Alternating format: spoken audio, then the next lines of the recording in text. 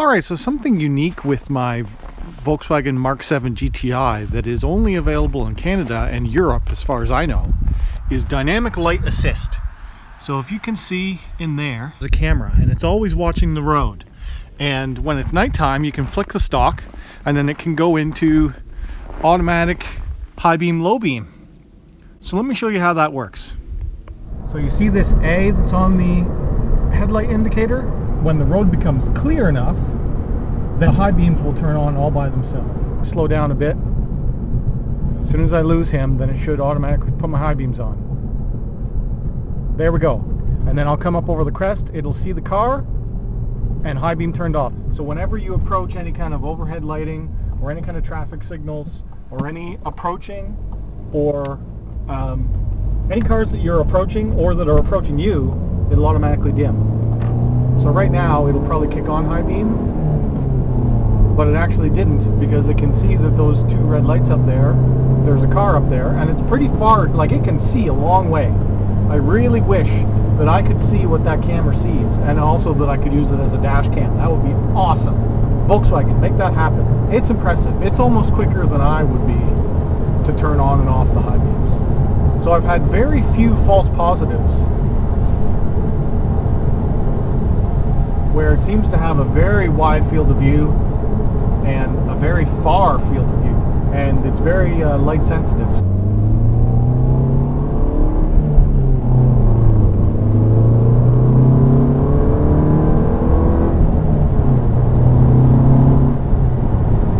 Okay, so this one's always interesting to me. Approaching a bend, no cars in view, and now auto high beam just kicked on. This car, auto, auto high beam just turned on.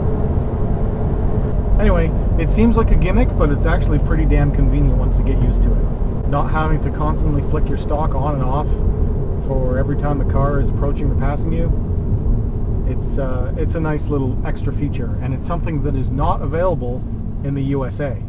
And in Europe, it's even more advanced, where instead of it actually dimming in a normal, like, dumb high-low, it can carve out around the car. So you can keep your high beams everywhere, except for it'll block out, selectively track and block out objects.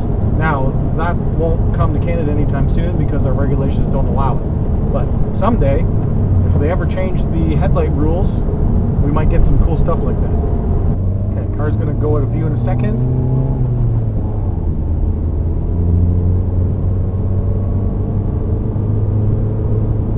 Still sees it.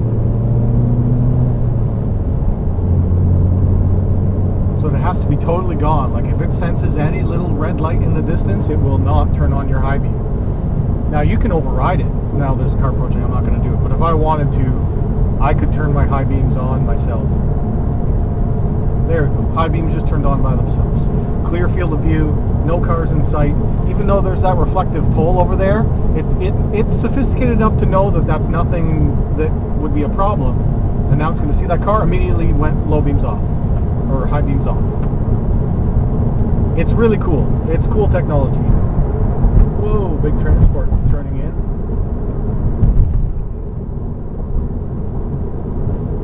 Jeepers, bud. Get in your lane. Holy cow. You didn't have to make that one. Holy shit.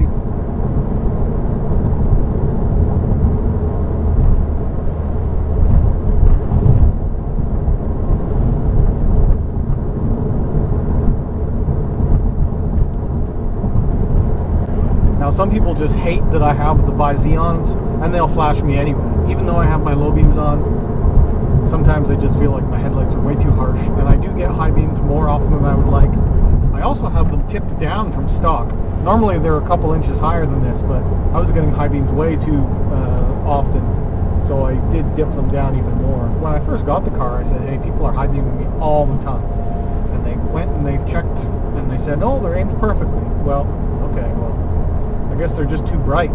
People don't like how bright the, Z, the high intensity discharge Xenons are, even though they're in a factory regulated housing and, and fully legal. Whoa, that car's on my side of the road. What is happening here? Why is that car on my side of the road? Delivering papers? Oh my goodness.